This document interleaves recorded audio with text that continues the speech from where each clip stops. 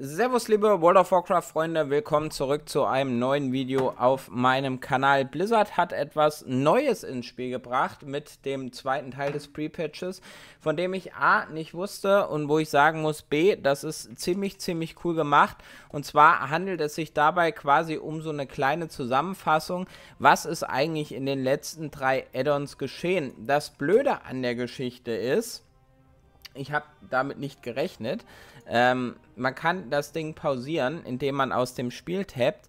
Aber bei mir war es so, mit dem ersten Char, mit dem ihr euch einloggt, startet direkt diese Sequenz. Ich habe dann aus dem Spiel getappt und wollte das Ganze auf Deutsch aufnehmen, damit ihr es euch nochmal angucken könnt. Hab aber, wie es aussieht, ziemlich die Aufnahme verkackt. Also im Normalfall würde dann hier, wenn ihr das erste Mal einloggt, ein schwarzer Bildschirm kommen und dann startet eben jene Cutscene. Ich habe das Ganze versucht auf Twinks zu reproduzieren. Das ist allerdings nicht möglich. Also ähm, ja, sehr, sehr schade, kann man sich nicht nochmal angucken. Gibt es, soweit ich weiß, auch aktuell nicht auf Deutsch, auch nicht vom World of Warcraft Channel. Und dementsprechend verlinke ich euch in der Videobeschreibung, wenn ihr es euch nochmal anschauen wollt, mal den äh, Videotrailer von Wowhead, wo es nochmal um alles ging, was so passiert ist. Also Sageras hat sein großes Schwert in Azeroth reingerammt, Magni ist zurückgekehrt und hat alles getan oder wollte alles tun, um die Welt zu retten. Dann kam Soth dazu als Bedrohung, der einen Pakt geschlossen hat mit Xalatath, das war die Shadow Priest Dame oder die Dame in dem Shadow Priest Dolch. Ähm, uns Helden ist es danach gelungen, Soth zu bezwingen. Xalatath ging ihres Weges. Dann wird weitergemacht mit den Schattenlanden, dass der Himmel aufriss, wie in das Reich des Todes ging, Anduin benutzt wurde, um schlimme Taten zu vollbringen. Ähm, und letzten Endes konnten wir auch diese Bedrohung bereinigen. Sehr interessant, dass dabei gar nichts über den Kerkermeister fiel, sondern nur über Anduin. Also es scheinen wirklich die Sachen gesponnen worden zu sein, die für jetzt noch relevant sind. Nämlich Iridikron wurde auch erwähnt der ein uraltes Relikt gefunden hat, das dunkle Herz, mit dem er ja auf die Titanen jetzt quasi wartet.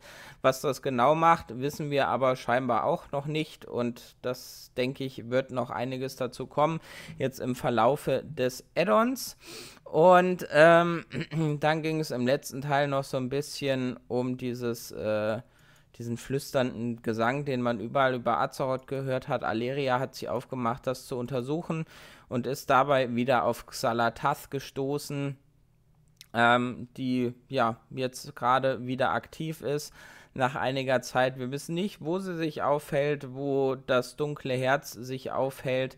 Ähm, ging dann nochmal um diesen Locus Walker, also Alerias Lehrer, quasi, ähm, der erzählt hat, dass seine Welt von diesem Void Lord Dimensius zerstört wurde. Und dann kommt noch die Frage, ob Xalatas das auch plant. Und Locus Walker sagt dann nur, ähm, wir müssen sie aufhalten, wenn nicht ist Azeroth endgültig doomed. Also, ja, wird sich seinem Schicksal ergeben müssen. Alles in allem, ich war sehr überrascht, dass dieser Trailer eingeblendet wurde, finde das Ding aber ziemlich, ziemlich cool. Es ist eine sehr gute Idee, ähm, sowas einzuführen und somit den Leuten, wenn sie jetzt länger nicht eingeloggt haben, ein kleines Recap zu geben. Jo, sag mal, was ist denn eigentlich passiert? Was, was ist jetzt gerade Sache?